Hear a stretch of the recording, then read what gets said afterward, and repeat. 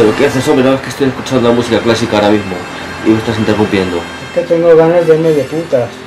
¿Pero tú te crees que yo soy el Banco de España? Trabaja y trae dinero a casa, hombre. Ya han dado dos currículums.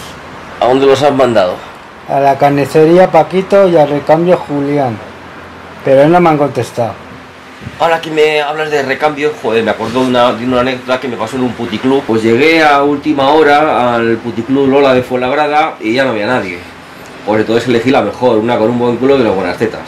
Total, que fuimos arriba a la habitación y cuando me estuvo haciendo la mamada, en el momento en que justo me iba a correr, me metió dos dedos en el culo. Y fue una sensación muy extraña porque por un lado me gustó y por otro me dolió. ¡Qué gusto! ¡Me cago en Dios! ¿Pero qué acabas de decir? ¿Pero cómo te cagas en...? ¿Pero qué pasa? ¿No me puedo cagar en eso o qué? ¿Qué problema tienes?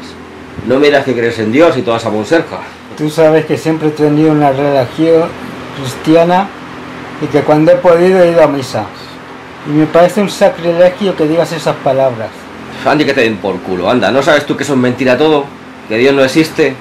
¿Que Jesucristo es un personaje de ficción como Luke Skywalker? El de la Guerra de las Galaxias. Como si yo digo ahora mismo que lo de Star Wars, la Guerra de las Galaxias, todo eso es verdad. No, Jesucristo vino a la tierra para salvar a los hombres. Pero hombre, eso todo es mentira. La, la Biblia esa la escribieron, yo que sé quién la escribió. Uf, cualquiera. Pare- me parece que he visto a alguien detrás tuyo. Hola chicos, ¿qué tal? Es que estaba la puerta abierta. Tenéis un momentito, quería contaros una cosita. Pero estaba la puerta abierta. Que he bajado a entrar por unas chuches y se me habrá olvidado cerrar la puerta. Bueno, ¿y qué desea usted, señorita? ¿Vosotros soléis ir a misa? ¿Tienes amiguitos y amiguitas? Tengo más amiguitos que amiguitas, pero me gustaría tener más amiguitas.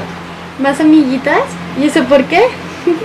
Porque me gustaría follar gratis. Estoy hasta los cojones de ir de putas y gastarme el dinero. Lo suscribo. Yo creo que deberíais intentar hacerlo dentro del matrimonio, como dice nuestro Señor. Si es que las mujeres son todas unas zorras. Yo estuve con una que es que intentó sacarme todo el dinero. Bueno, fue a la policía y puso una denuncia falsa. Bueno, si yo te contara... Pero si creéis en Dios no vais a tener nunca más denuncias falsas. Tú tienes cara de buena, seguro que no has puesto una, una denuncia falsa en toda tu vida. Pues no, yo estoy casada con Dios. O sea, que eres una estrecha, ¿no? ¿Hace cuánto que no follas? Pues hace como unos cinco años. Tú lo que necesitas es un buen meneo. Oye, pues igual tienes razón.